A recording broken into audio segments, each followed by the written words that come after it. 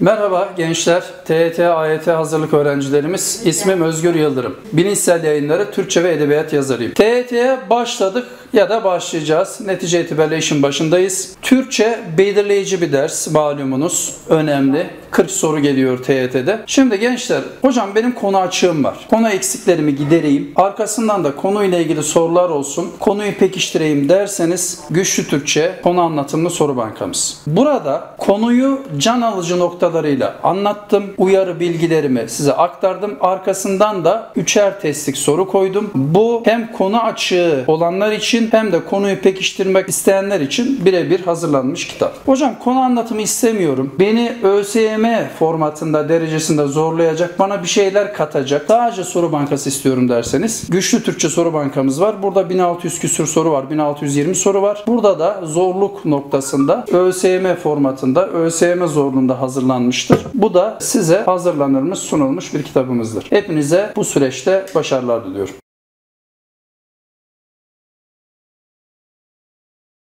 Ee, Ve ablalar bilgisayar yayınlarını unutmayın lütfen. Takip edin, Takip edin ve yorum atmayı unutmayın. kitapları tercih edin. Ve edin Benim kitapla ilgili ne düşünüyorsun hayatım? Güçlü Türkçe Soru Bankası. Bunun tanıtımını nasıl yaparsın? Kızım benim.